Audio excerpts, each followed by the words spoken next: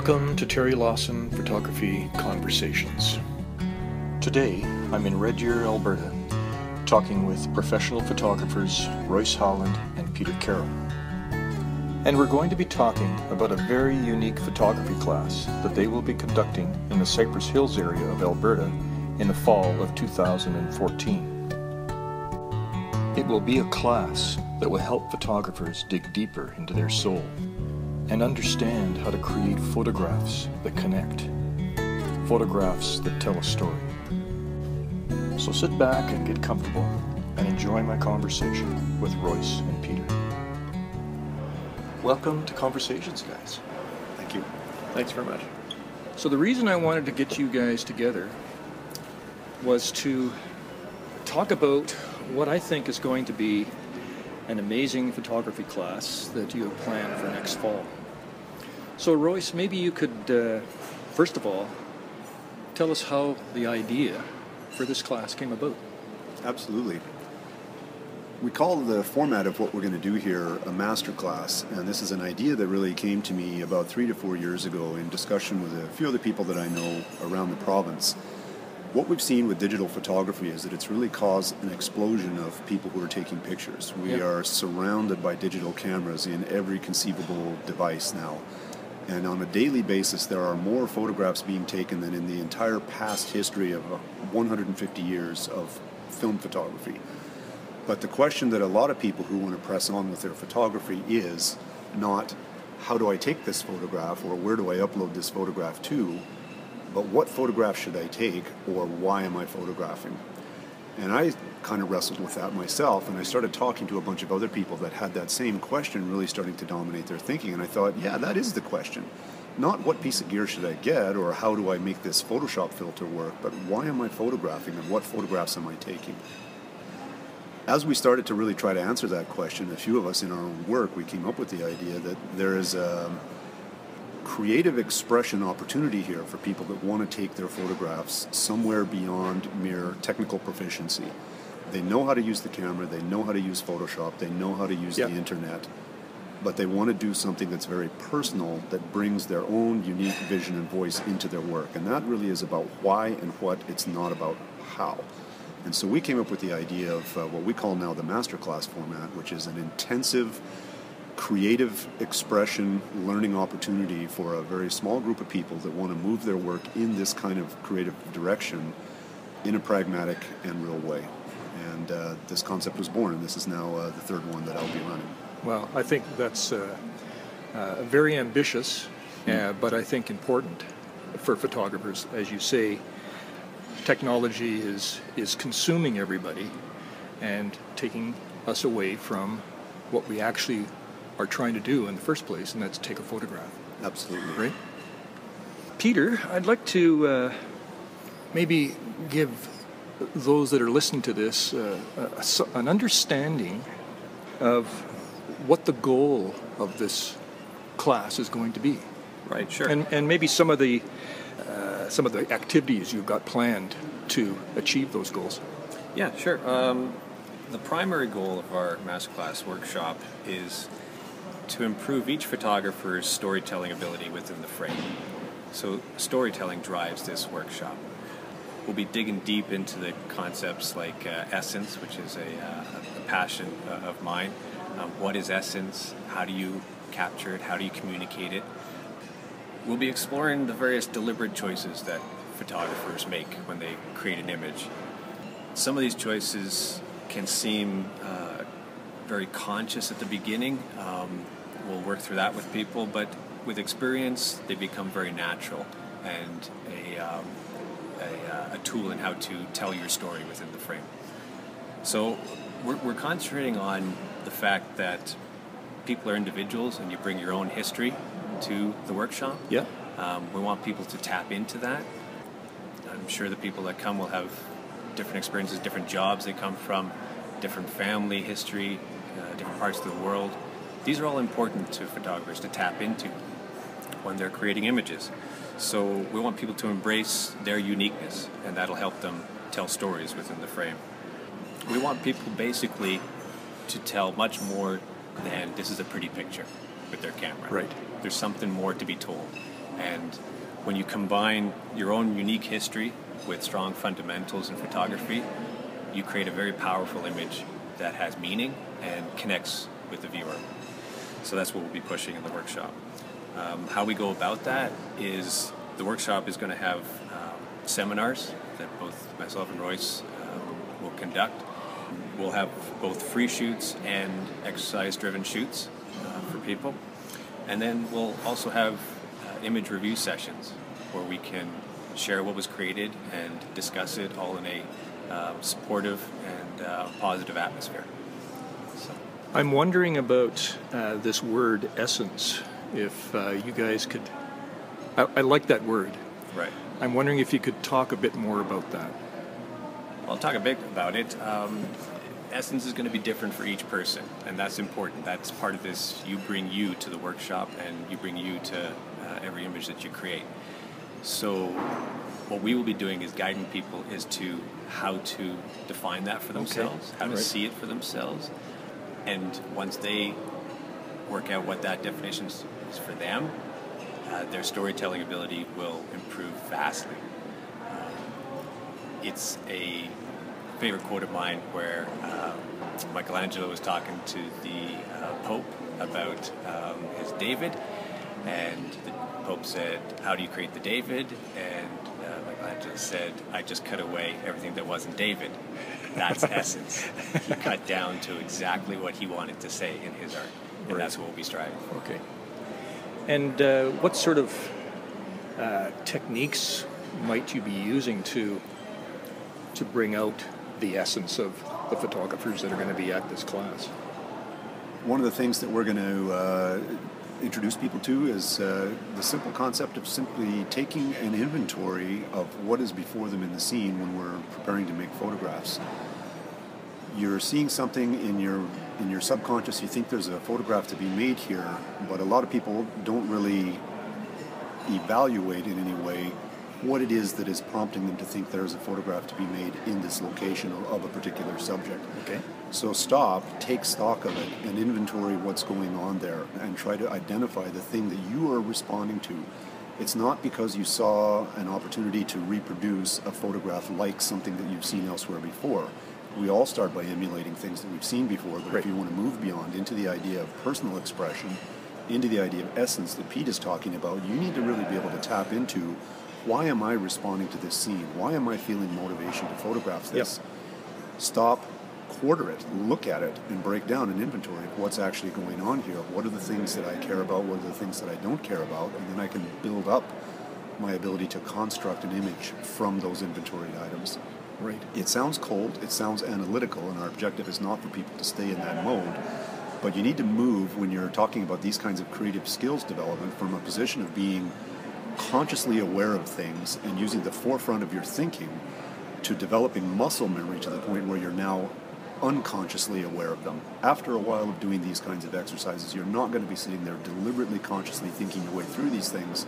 It's going to be in your creative muscle memory and you're just right. going to be doing it without thought. But until you've gone through that stage of conscious awareness of realizing there is a framework to kind of diligently, creatively construct these images, you will have to go through that conscious awareness mm-hmm. stage. Yeah. So we're going to guide people through various techniques, you know, like the inventorying of the of the location elements and some others, uh, to uh, illustrate these sorts of thinking frameworks about how to construct these images. I know what you're what you're trying to say, uh, because we all come to a spot, and we, we we say, I have to take a photograph of this why did I stop here to take this photo, to want to take this photograph? Right? Yeah. Yeah. We've all heard the phrase that a picture is worth a thousand words, and I think that's true. But the question I ask people is, which thousand words are you saying? that's right. If you don't know, then it's maybe a bit of babble. You know, I yeah. mean, you can have a beautiful scene, and people will react to a photograph of a beautiful scene and say that looks wonderful. Yep. But storytelling imagery goes beyond just the pure aesthetics or just the pure beauty of the subject matter that you're dealing with. Freeman Patterson talks very, very uh, at length about the difference between subject matter, the physical elements, the things that are out there, versus your subject. What are you really photographing? What are you really saying? Is it an emotion? Is it a mood? Are you tapping into a memory from childhood? Right. is it an aspiration? Is it a hope? Is it something that you fear? Is it any of these kinds of abstract concepts? You're illustrating them with the subject matter, but the subject is something other. It's a more abstract thing. And if you are trying to say a thousand words about what that subject is, you need to be a little more deliberate than just saying, well, it's a beautiful scene and, you know, the alpenglow was wonderful and the reflection was nice or the, the larches are golden at fall you know, you need to move beyond that. Beauty right. is not wrong, but there's more to it in storytelling. Yeah. If you, if you can't uh, verbalize or figure out for yourself what you, draws you to the scene, what's the reason that you find this interesting, the passion behind it, um, you're pretty much stuck on aesthetics. You're, you're right. digging no deeper than that. Yeah. And that's the crutch. There's a pretty picture element that gets presented, and that's lovely, but it stops there. The story hasn't been told because your story hasn't been told. You haven't figured out why that scene is important to you. Um, that's all part of the storytelling within the frame. So, are you going to um, provide an opportunity for those that attend your class beautiful places to take photographs, or are you going to be sitting in a classroom the whole time? Both. Uh, we have some information that we need to communicate to people, and so there will be some classroom sessions where we're giving people, I like to call them frameworks. They're not recipes. It's not do these five things to make a good image. It's a framework that says, how do you think about image making? And it's important for people to understand that framework because the reason to take this workshop is a lot of people will be struggling with those very issues. Mm-hmm. So we want to give them a framework to clarify the thought process of how to go about image making. But then we're going to immediately go into the field and do pragmatic shooting exercises that are targeted to apply the frameworks that we're talking okay. about and follow up with the portfolio or image review sessions that Pete talked about to then say, all right, we created this work yesterday, now we're going to sit down and look at it. How did it work for everybody? You right. you were responding to something, you thought there was something there, you tried to apply the framework. How did it go? Was it successful? Was it a near miss?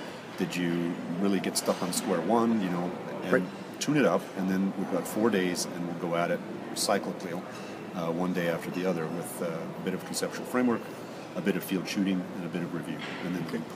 And I'd just like to add that all these uh, parts of the workshop, um, I stress that they're in a supportive and positive atmosphere. There needs to be that for people to be truly creative and to experiment, and they need to feel comfortable that uh, they're going to take a couple of swings at the ball, and uh, the odd one will go over the fence, and then they'll whiff on a couple. But that's okay. Mm-hmm. Um, that's part of the process. Of course. Uh, yeah.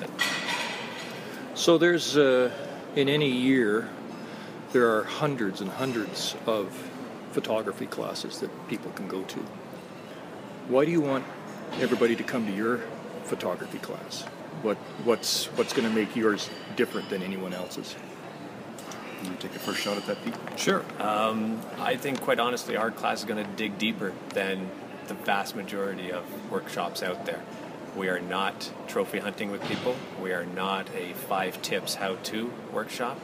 We are getting into the real deep guts of photography, the essence of what the craft is about, and why we all take pictures.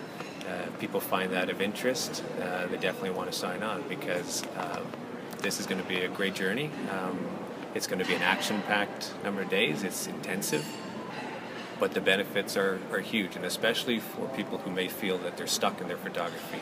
There's a, um, a natural progression that every photographer goes through about working the fundamentals of the equipment and how to compose and uh, create images. Um, and then people find themselves in a bit of a rut sometimes unless they get kickstarted.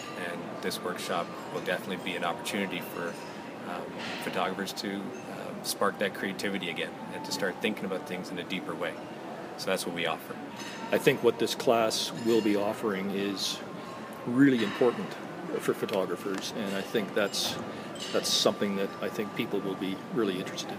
Yeah, we're interested in people that are looking for creative challenge. You know, Pete and I both have gone through that ourselves, uh, even as recently as within the last few months, but certainly uh, repetitively during our career. And the creative challenge, effectively responded to, brings an incredible feeling of progress and fulfillment and satisfaction. And it's it's a crying shame that people that are talented in photography would feel a bit dispirited by it if they're on a plateau and they don't see a way off of it. So we're, we're positioning this. You used the word ambitious at the beginning of the interview, and it is ambitious. You know, we are putting a pretty high bar out there that we want to have people come out that are looking for a serious creative challenge that is going to lead to some sort of breakthrough. We can't promise what the breakthrough is because, as Pete said, you bring you to the event, and Right. developing personal style and personal creative expression comes much from within. But we want the right kind of person to come to this, and we're going to hopefully be able to kick open some floodgates and allow them to discover for themselves what that next level is that they want to go to. Right. If we can achieve that, that's far better than any number of recipes of five how-to tips for a piece of gear or Right. a Photoshop filter that you should download to, uh, you know, jazz up uh, the effects of your images or something Right. like that.